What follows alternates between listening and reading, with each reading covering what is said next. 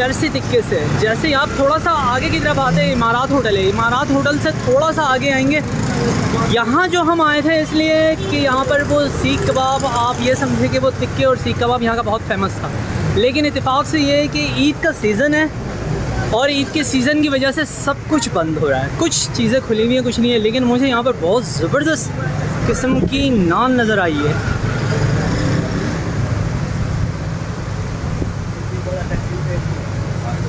आप देख रहे हैं। बड़ी टेस्टी किस्म की है।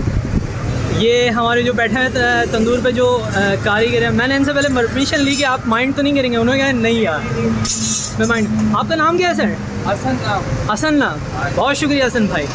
ये आप देख सकते हैं कि यानी अगर एक कोई अच्छा काम करता है तो उसके पास अच्छे लोग आते हैं। आप ये देखेंगे उनके ऊपर क्राउड कितना है। आप देख सकते हैं। यानी कहने का मतलब ये है कि अगर आप अपना काम ईमानदारी से करते हैं और बहुत अच्छा करते हैं तो आपके पास कहीं से भी क्राउड आएँगे और आपकी चीज़ की तारीफ़ होगी। मदीना नान फरोश। मदीना अच्छा चौबीस घंटे सर्विस है भाई। ठीक है और इनके पास ये अंकल बैठे हैं, ये बर्फ़ भी सेल कर रहे हैं।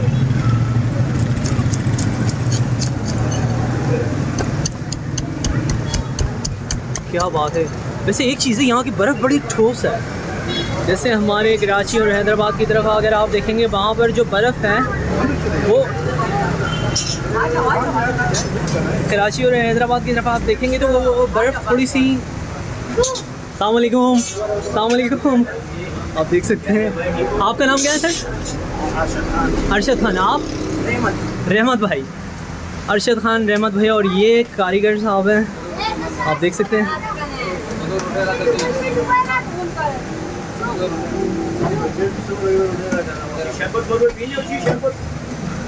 नहीं नहीं थैंक यू बहुत शुक्रिया।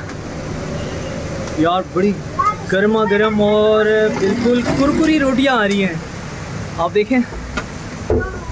जो सेंटर में अंकल खड़े हैं, उन्होंने भी परमिशन में हेल्प की है मेरी। हमारे के लिए बहुत खसूसी सलाम बहुत शुक्रिया बहुत शुक्रिया। थैंक यू सर अल्लाह आप सबकी इज़्ज़त करे, अल्लाह आपके काम में बरकत डालें।